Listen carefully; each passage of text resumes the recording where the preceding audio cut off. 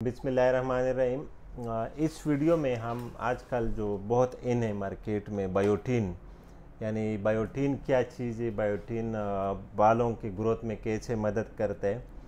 इस टॉपिक पे पहले भी एक वीडियो बना चुका हूँ, लेकिन यहाँ पे बायोटीन रिलेटेड क्वेश्चन थे जो क्लाइंट्स ने पूछे कि बायोटीन जो है ना क्या चीज़ है और कैसे इस्तेमाल किया जाए और किन लोगों को ज़रूरत होती है? और ये पूछा गया है कि is biotin good for hairs biotin जो है ना एक मल्टीविटामिन है जिसको विटामिन बी सेवन भी बोलते हैं और इसको विटामिन एच भी बोलते हैं। एच हेयर से निकला यानी बालों के लिए। आजकल इसको विटामिन एच भी बोलते हैं।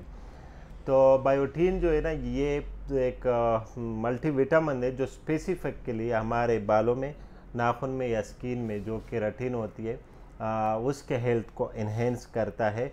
और केराटिन प्रोडक्शन जो है ना अच्छा करते हैं। जब केराटिन जो है ना, हमारे जो बालों का, जो बालों का स्ट्रक्चर है, जो डायमीटर है, उसकी मेन जो स्ट्रक्चर है, वो केराटिन से बनी हुई होती है। और हेयर फॉलिकल में केराटिन जो है ना मेन कंपोनेंट होता है। तो बायोटीन जो है, वो केराटिन को प्रोडक्शन को इंक्रीज करते हैं। अब क्वेश्चन यह है कि जिन लोगों के बाल गिरते आया, उसमें बायोटीन की कमी होती है। नहीं, उसमें कमी नहीं होती है। लेकिन जब हम सप्लीमेंट देते हैं सप्लीमेंट मीन्स जैसे आपने पौधे को खाद वगैरह डाल दिया तो उसकी वजह से उसका ग्रोथ थोड़ा अच्छा हो जाता है। तो बायोटीन से सिर्फ़ जो आपके एग्जिस्टिंग हेयर फॉलिकल है, वो थोड़े हेल्दी हो जाते हैं। जो आपके कमज़ोर बाल है, वो मोटे हो सकते हैं इसके साथ और ग्रोथ स्टार्ट कर देते हैं। और ये इफ़ेक्टिव है बालों के इस्तेमाल के लिए। बायोटीन का कितना डोज लेना चाहिए? मेरे पास मरीज़ आते हैं, अक्सर लोग कहते हैं, मैं दस हज़ार में एम लेता हूँ माइक्रोग्राम कोई लेता है पच्चीस सौ माइक्रोग्राम बायोटीन का जो स्टैंडर्ड डोज है, अगर देखा जाए तो वो थाउज़ेंड ग्राम माइक्रोग्राम तक काफ़ी है। लेकिन ए सप्लीमेंट हम यूज़ करते तो इसको 2500 माइक्रोग्राम तक डेली डोज जो है ना, वो इफ़ेक्टिव डोज है। ये एक्सपीरियंस की जो हमारे क्लिनिकल ट्रायल्स में हमने जो एक्सपीरियंस किया है, जो मरीजों को देते हैं फिर वो वाले बायोटीन जिसके साथ जिंक और फॉलिक एसिड ऐड होते हैं, उसकी एब्जर्प्शन अच्छी होती है और वो बहुत ज़्यादा इफ़ेक्टिव होते हैं। तो नेक्स्ट क्वेश्चन है कि सर किस कंपनी के बायोटीन अच्छे हैं? कौन से बायोटीन यूज़ करनी चाहिए? देखो बायोटीन मैं जानता हूँगा तो दो तीन कंपनियों को जानता होगा। बायोटीन हमेशा किसी स्टैंडर्ड कंपनी का लेनी चाहिए, जो जिस पे ट्रायल हो चुके हो, जिसके साथ आपका रिज़ल्ट अच्छा हो। आ, मैं जो खुद इस्तेमाल करता हूँ मैं बायो हेयर प्लस के नाम से जिसमें बायोटीन है और उसमें जिंक फालिक एसिड ये चीज़ों का कम्बिनेशन है और वो मुझे अच्छे रिजल्ट्स देते हैं तो वो ही रिकमेंड करता हूँ अपने पेशेंट्स को। और मेरी एक पॉलिसी है कि जो दवाई मैं अपनी बीवी को बच्चों को या ख़ुद नहीं ले सकता हूँ वो मैं अपने मरीज़ को नहीं लिख सकता हूँ और ना कभी लिखूँगा।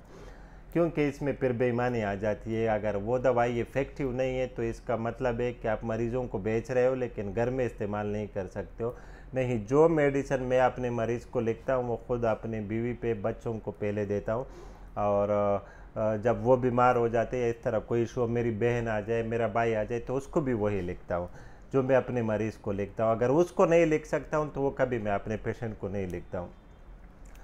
दूसरा क्वेश्चन है इसमें कि does biotin grow hair faster बिल्कुल आपकी जो बालों की जो ग्रोथ है उसको इन्हेंस कर देता है। आ, थोड़ा बहुत जो है ना उस प्रोसेस को स्पीडअप करा देता है और जो कमज़ोर फालिकल होते हैं वो ग्रोथ शुरू कर देते हैं। तीसरा क्वेश्चन है कि डज बायोटीन इंक्रीज वेट कि बायोटीन कुछ मरीज़ कहते कि मैंने बायोटीन लिया और मुझे वज़न ज़्यादा हो गया। बायोटीन कभी वज़न ज़्यादा नहीं कर सकते, कोई भी मल्टीविटामिन वज़न ज़्यादा नहीं करते।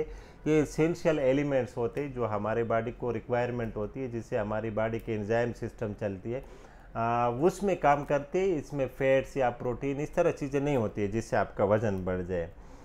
What is the best time to take biotin tablets best time किसी भी दवाई लेने का फॉर एग्ज़ाम्पल कुछ दवाइयाँ होती है कि वो आपको एम स्टमक लेनी पड़ती है, जैसे मेरी की दवाई हो गई या एजिथ्रोमाइसिन हो गए।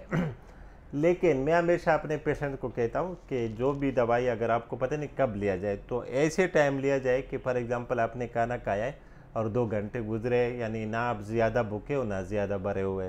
तो उस टाइम जो भी टेबलेट लेते हैं, उसकी एब्जॉर्प्शन अच्छी होती है।